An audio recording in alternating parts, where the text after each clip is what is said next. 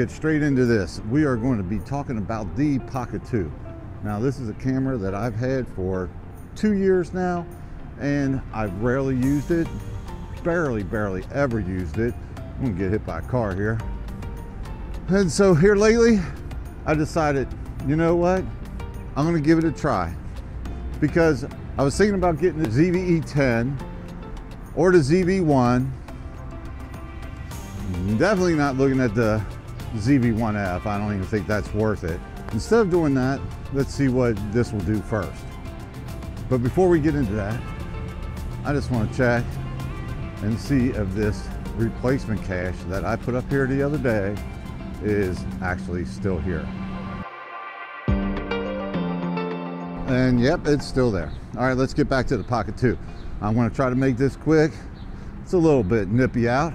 I'm actually using the DJI single receiver mic that they just brought out.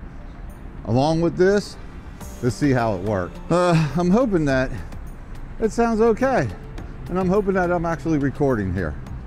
So that, other than that let's uh, go. I've got notes. I've got notes. I've actually got notes.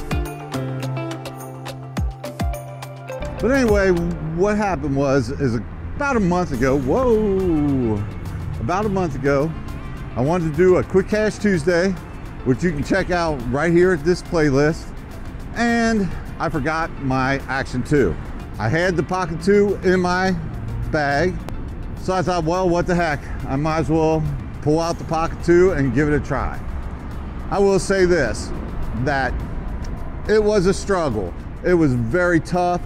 I know I messed up on a lot of things, had to redo it a couple different times. So it was something that definitely a learning curve for this camera, but now I've used it for probably, I don't know, three or four, maybe five different vlogs, Quick Cache Tuesdays, and I'm getting a lot more used to it than what I was. All right, well, that's a little loud. All right, so what I want to do is go over things I dislike about this camera and then go over things that I really like about it. All right, so the first thing that it's definitely the screen size. For me at 62, it's tough to see this screen. It kind of looks like a blur to me. I could get my old man glasses on and then I can see, I see right there, I got it.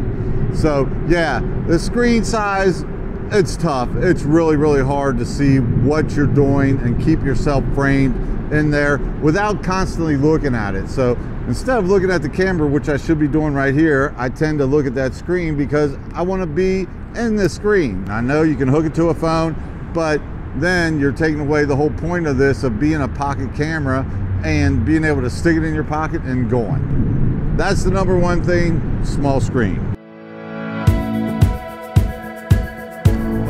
Number two is battery life.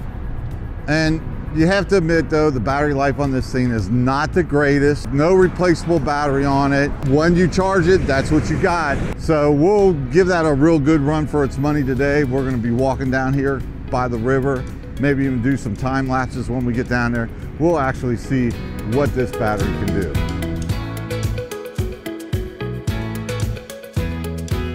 Okay, number three is the normal color profile. I basically use D-Cinelike, so I'm not that worried about that. But it would be nice to just put this in normal color profile and go out, vlog, and not have to worry about when I get back to make some adjustments or color grade or anything like that. And the last one is definitely that they put this camera out and they did a couple firmware updates and then basically forgot about it. You know, when I talked about the color profile, I mean, that would just be a firmware update. That's all that it would take. I don't understand why they put this camera out, they charged what they charged for it, and then turn around and just basically abandoned it. And instead of coming out with a firmware update, they came out with a white one. Uh, nobody needs a white one. We wanted a firmware update. We wanted something that would actually help this camera out. All right, let's get into some of the things that I actually like about this camera. As much as I would love to see the gimbal have more flexibility to it, it's still one of the main positives of this camera. when you think about the size of this camera and the fact that it has a gimbal on it that can, you know, do all kinds of stuff like uh, motion lapse and stuff like that. I mean, it's pretty amazing that they put a gimbal on this small of a camera. It's definitely a game changer when it first came out with the original Osmo Pocket, and now you have the Pocket 2. We'll see what they do with the Pocket 3. And then next thing is definitely the video quality of this camera.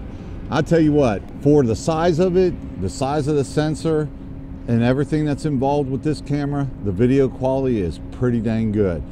I mean, I know it's not going to compare to an A7S III and a full frame camera or even a crop sensor camera, but for what it is and what it does, it is really good.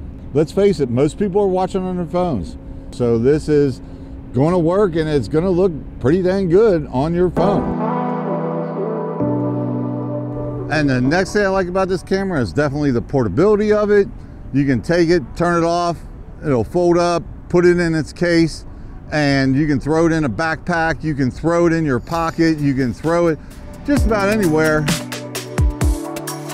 So the next thing I like about this is definitely the internal mics.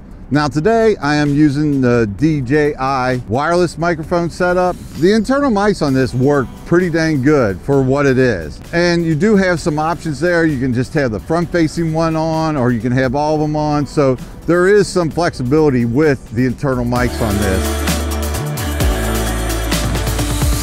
And the last thing I want to say about this and why I like it because I'll tell you what, with this DJI wireless mic, and even a plug-in mic. This is one heck of a vlogging camera. I mean, it's not real heavy. I mean, I'm old and I've been holding it up this whole entire time. The footage is fairly smooth. I mean, it's not bad, bad. It's pretty easy to use once you learn it. And that's something that I had to do is actually learn this camera. And now that I've gotten used to this camera, it's become easier and easier to use. Right now I have it on tilt lock and I seem to like that the best because even if I kind of do something like that and go back and forth or whatever, it stays right on me. I don't like face detect because when it loses your face, that's it. Then it starts doing all kinds of goofy stuff, hunts for you, looks for you, and it just looks, turns out to be a pretty bad video when that happens. So I pretty much keep the uh, face detect off and I stick with the tilt lock. If I'm doing some B-roll, I might change it to follow or maybe, eh, I rarely use the FPV.